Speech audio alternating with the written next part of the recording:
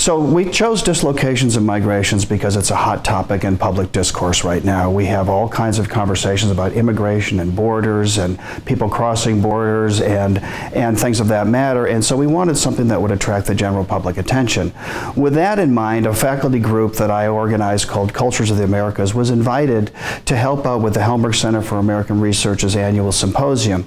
So we gathered a group of about a dozen or so people and kicked around a number of ideas and we came up with dislocations and migrations as one that would both meet our interests in crossing disciplinary boundaries but also having something that speaks to our contemporary circumstances.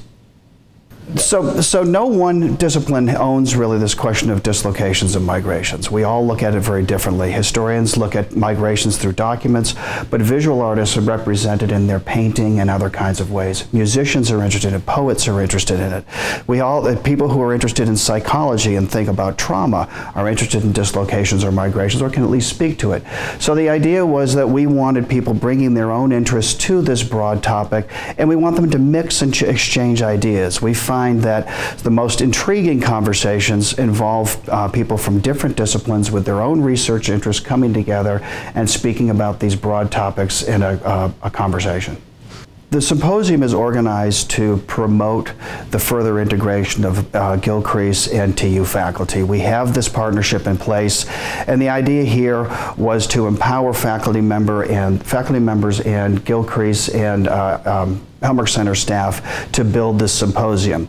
So what we've done is we have a series of panels and panel chairs are in charge of the content and the uh, structure of each of the panels and we operate uh, here at the Helmerich Center as sort of an executive director. So it's a very decentralized approach that essentially turns or a symposium organizing inside out. Oftentimes when we organize a symposium we have a small group of people who decide everything, who the speakers are, how the conference is to be organized and what we did here is we turned it around and we went to faculty members at TU and uh, staff at HCAR and Gilcrease and said, how do you want to approach this? And so they came back to us with ideas and we and then we assemble them after that. So it's a, it's a decentralized, democratic uh, way of looking at conference organizing.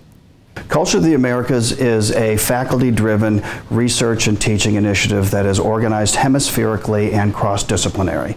Uh, it is the, the idea here is that, that um, scholars from multiple disciplines look at um, questions of uh, borders and immigration and migration, but they do so in a hemispheric fashion.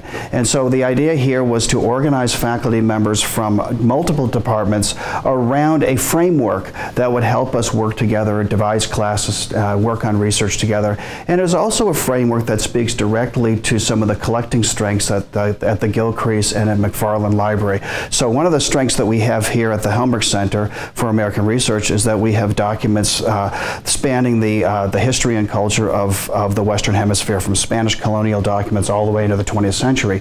McFarlin Library has a similar sweep to their collection. So our idea was to create a new structure that allows faculty members to work together together, but around these collections, and really envisions what would make uh, this kind of, um, interdisciplinary study special and unique to Tulsa. And so this is, a, this is an approach that speaks to the, the collecting strengths and the faculty strengths that we have here.